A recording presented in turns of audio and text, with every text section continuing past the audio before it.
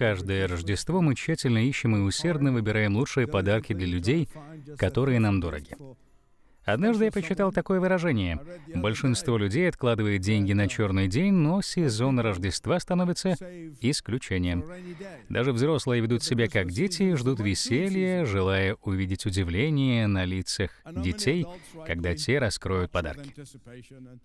Когда мои дети были маленькими, мы с женой ожидали, что все они обрадуются подаркам, но кто-то из детей всегда был разочарован. Поэтому будьте готовы к этому. Нам кажется, что чествование рождения нашего Господа и Спасителя Иисуса — это радостное событие, но по какой-то странной причине в это время всплывают сложности во взаимоотношениях. Семьи собираются под одной крышей, но люди вместо того, чтобы нести радость, ранят друг друга. И из-за этого отношения портятся. Допустим, молодой зять получает два пуловера в подарок от тещи. И как только он узнает о ее намерении прийти в гости, он несется в комнату и надевает один из пуловеров — Теща заходит в дом и возмущается. «Что это с тобой такое? Тебе не понравился второй пуловер?» В чем же дело? Сколько бы ни стоил подарок, и каким бы особенным он ни был, и каким бы качественным он ни был, любой подарок можно оценить. Почему же так?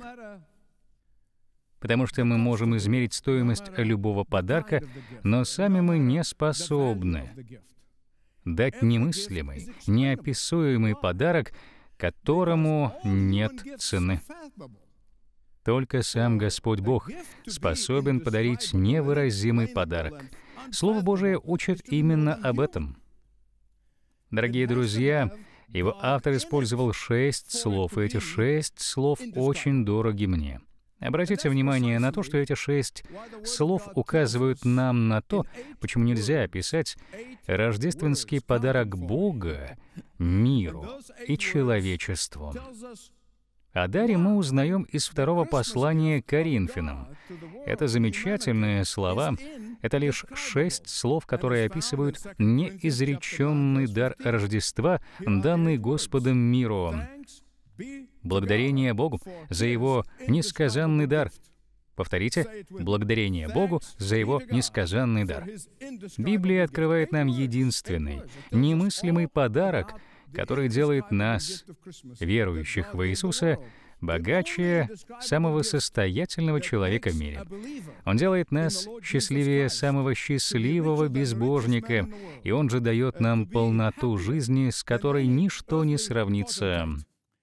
Дорогие братья и сестры, я не преувеличиваю и не играю словами. Это не гипербола. Но когда я говорю о невыразимом даре Господа, я цитирую Священное Писание, которое возвещает истину. Мы не сможем измерить дар спасения. Сможете? Я вот нет. Ведь лишь Иисус дает дар спасения. Апостолы не спасут, и Павел не спасет ни в коем случае. Он ошеломлен даром спасения, который он получил по дороге в Дамаск, и до конца жизни он не мог объяснить его. Поэтому он и говорит «благодарение Богу за его несказанный дар». Почему Библия говорит о том, что дар Рождества не поддается описанию? Давайте мы поговорим о трех причинах. И первое — поговорим о природе этого уникального дара поговорим о природе дара.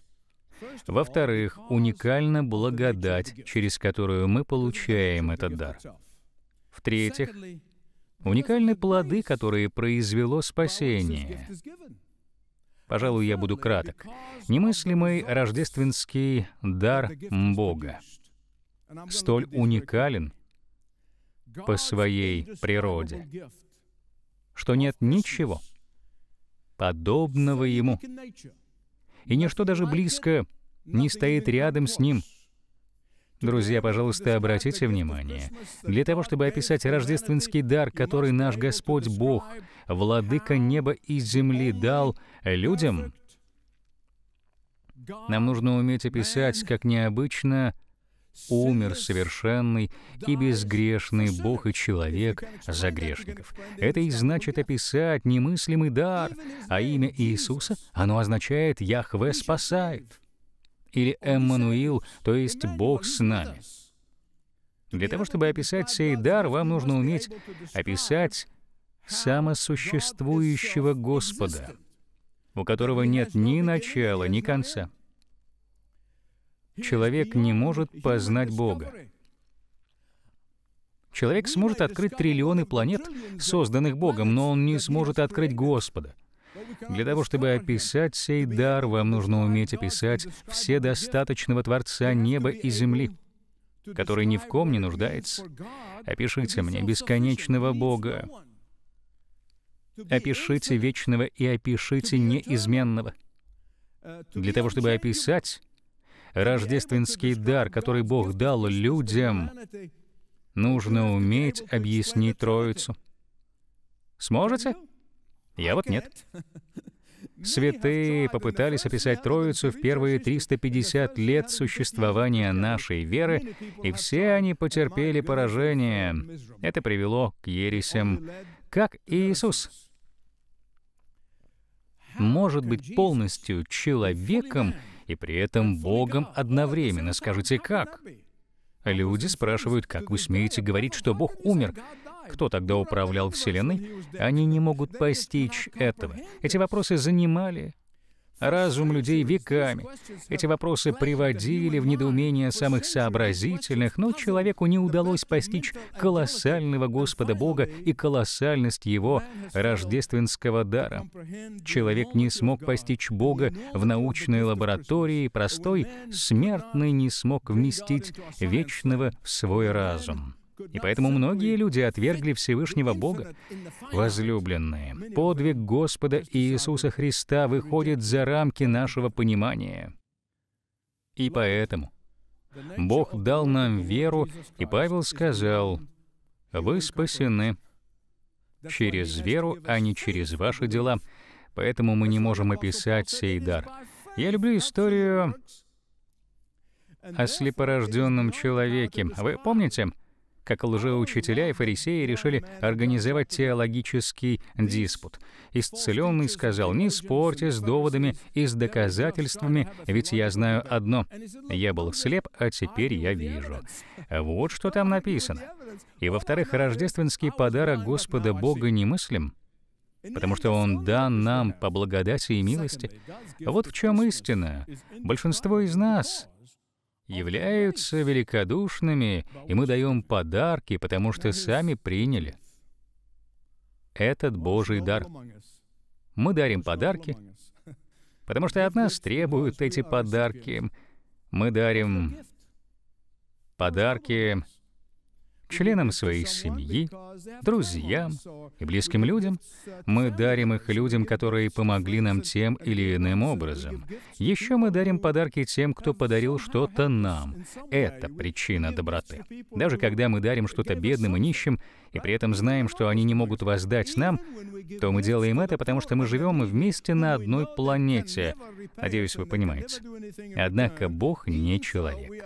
Мы взбунтовались против нашего Творца и Создателя, и мы враги Бога по своей природе.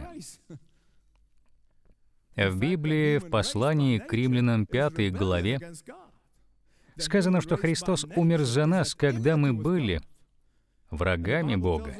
Кто-то сказал так, Бог преподнес величайший подарок не своим друзьям, а своим неприятелям. Итак, мои возлюбленные, Бог дал благодать людям, и мы не заслужили ее. Мы недостойны этого дара. Братья и сестры, я стою на первом месте в списке недостойных и не заслуживающих благодать, я не преувеличиваю. Те, кто ходит сюда давно, тот знает. Что я сокрушаюсь во время проповеди, когда говорю о двух вещах, одна из которых — благодать Бога. Я потрясен, когда говорю о благодати. Смотрите, если бы мы могли заработать эту благодать, то она уже не была бы благодатью. Если бы мы заслужили благодать, она не была бы благодатью. Пожалуйста, запомните. Когда Бог подарил нам свой немыслимый дар в лице Иисуса Христа, Он сделал это не потому, что мы смогли бы потом его заслужить или заработать, даже если бы прожили сто жизней. Разве Библия говорит, что Иисус Христос пришел в мир, чтобы построить здание, подобное этому? Слава Богу за Него, но разве об этом речь? Нет, нет. Разве Господь Иисус Христос пришел на землю, чтобы дать ученикам земную власть, чтобы править? Нет. Иисус Христос пришел в мир, чтобы построить большие церкви и крупные деноминации, и снова нет. Он пришел создавать соцпрограммы? Нет. Он не пришел, чтобы создать земные структуры. Нет и еще раз нет. Христос Иисус пришел в мир спасти грешных. Бог пришел спасти грешных. Если вы не считаете себя грешным и не считаете, что вам нужен Спаситель, то вы останетесь во грехах. И вы не осознаете и не оцените благодать Бога. Когда родился Иисус, ангелы возвестили о том, что Он пришел спасти грешных. Спасти грешных. Пожалуйста, повторите это. Спасти грешных. Благослови вас Бог. Спасти людей, которые исчерпали свои силы. Спасти людей, которые осознали, что они не могут спасти себя сами. Спасти тех, кто понял, что они не могут угодить Богу. Спасти людей, которые осознали, что все их дела милосердия не спасут их — спасти людей, которые осознали, что Бог требует совершенства, которого они не достигнут, и поэтому небо не примет их. Но Бог принимает нас, когда мы признаем совершенство Иисуса. Это благодать. Неудивительно то, что апостол Павел, принявший удивительную благодать, смог сказать «Благодарю Бога за его немыслимый дар». В старом переводе сказано «благодарение Богу за его несказанный дар». Мы с вами так уже не говорим, то есть человек не способен описать благодать Божию. И обратите внимание на то, что природа этого дара и Божья благодать делают его неописуемым. Эти факторы лишают нас способности описать его. Хочу добавить то, что дар является неописуемым благодаря его плоду. Этот дар является немыслимым благодаря плоду, производимому им. А что это за плод такой? Вот этот плод, я назову его. Нам постоянно пишут сотни и тысячи писем, и к нам поступают Вести со всего мира о том, что грешники приходят ко Христу. Плод говорит сам за себя. Каждый, настоящий верующий в Господа Иисуса Христа, каждый скажет вам, что этот плод производит немыслимое, невыразимое и непостигаемое. Итак, как же мы измерим прощение? Всех наших грехов, и как мы сможем все это описать? Я вот не смогу. Я верю в Бога 64 -го года. Я изучал Писание, читал Библию постоянно все эти годы, но когда дело доходит до объяснения этого немыслимого дара, я умолкаю. Я удивляюсь, думая о том, что Бог простил такого грешника, как я. Бог простил все наши прошлые, настоящие и будущие грехи. Это произошло только благодаря пролитию крови Христа на кресте Голгофы. Бог простил все, и я потрясен. У меня нет слов, потому что я не нуждался в Господе Боге. Я родился таким. Но Бог любил меня даже когда я сказал Ему «Нет, Господь Бог, любил меня благодаря Его неизреченному дару, дару Рождества. И послушайте, Бог простил нам грехи, и это значит, что Он полностью убрал наши грехи. Не забудьте об этом. Он смотрит на вас через Иисуса Христа. Когда Отец смотрит на вас, Его взгляд не обращен на ваши грехи, но Он сконцентрирован на Иисусе, Его послушном Сыне, поэтому грехи прощены. Господь удалил все наши грехи, и они исчезли. И Писание говорит, что Господь забросил наши грехи в глубочайшее море. Ни один водолаз не поднимет их. Бог больше не вспомнит о них. Когда Библия говорит, что Бог не вспомнит о них, то это означает, что Он никогда не будет держать их против нас. Как дивен и чуден этот подарок! Чудесно! Как далек Восток от Запада. Так далеко Бог удалил наше беззаконие. Вот здесь надо бы прокричать от радости. Только человек, который признает себя грешником, и только через крестную кровь Иисуса Христа Бог Отец сможет простить нам все наши грехи. Только так мы можем познать то, что мы искуплены. Только такой человек может принять неописуемый подарок Бога. Братья и сестры, Благодаря этому немыслимому подарку все наши грехи прощены, и кроме этого мы оправданы в соответствии со стандартами небесной справедливости, оправданы и объявлены невиновными.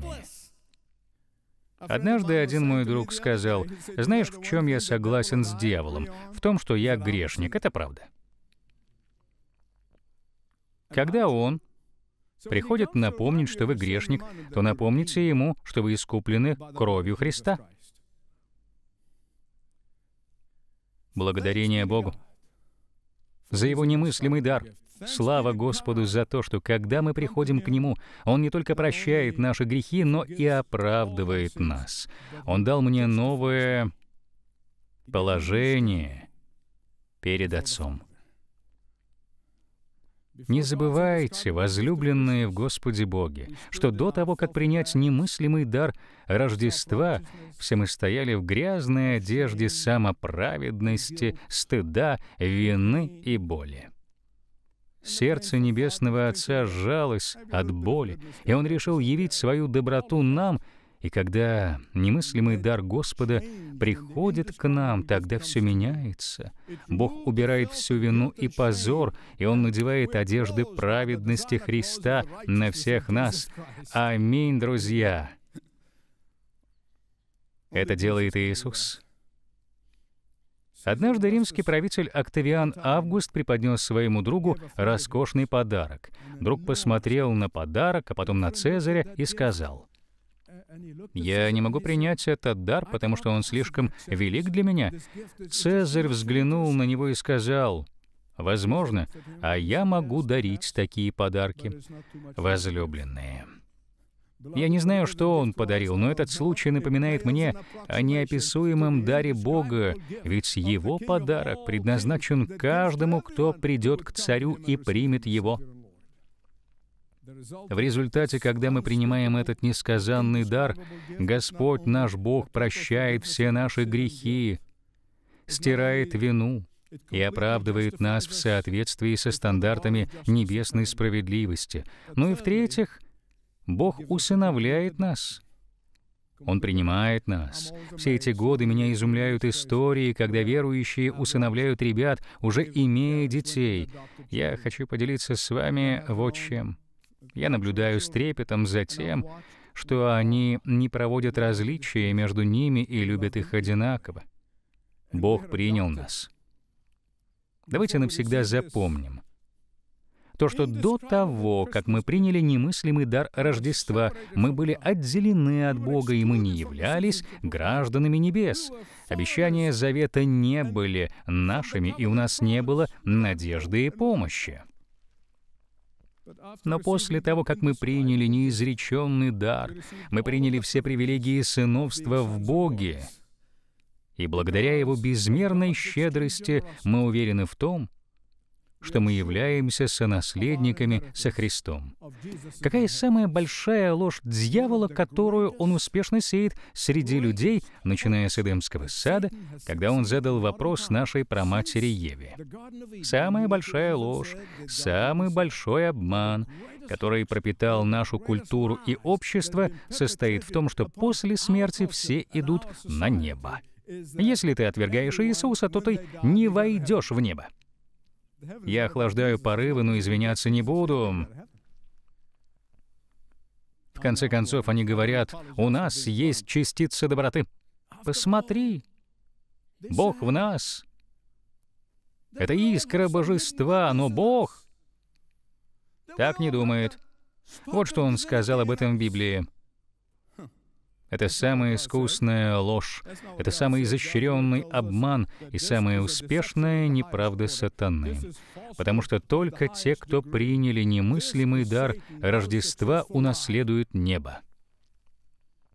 Они унаследуют его с Иисусом, ибо небо принадлежит Христу, и только те, кто принадлежит Иисусу, будут с Ним в раю, и только те, кто принял сей немыслимый дар спасения через Иисуса, воскликнут вместе с Павлом. Скажем все вместе. Благодарение Богу за Его неописуемый дар. Давайте еще раз благодарение Богу.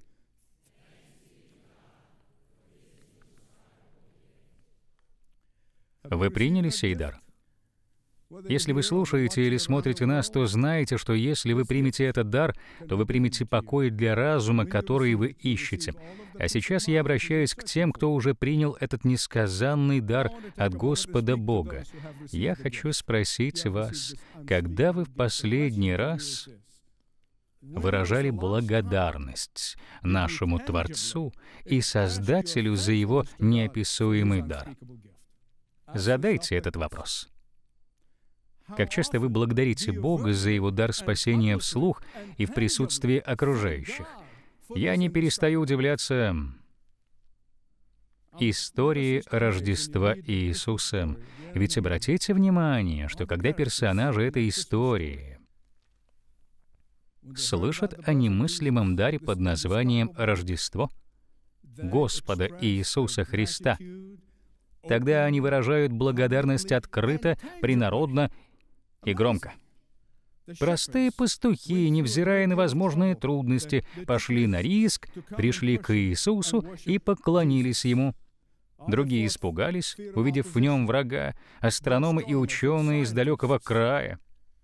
Узнали о Господе Иисусе Христе и пришли к Нему — мы называем их волхвами. Они проделали очень долгий и весьма опасный путь, на котором встречались дорожные разбойники. Эти люди науки пошли на риск и выразили почтение Богу за его немыслимый дар. Мудрецы пришли поклониться младенцу и принесли ему дары. Старец Симеон долго ждал надежду Израиля — и когда к нему принесли младенца Иисуса, он прославил Господа Бога принародно, громко и во всеуслышание, а далее приготовился к успению. Анна благодарила Бога за Искупителя прилюдно, единственный приемлемый отклик на сей невыразимый дар — это прилюдное — выражение благодарности Творцу Богу. А вы готовы? Провозглашая бескомпромиссную истину на пути вперед с доктором Майклом Юсефом.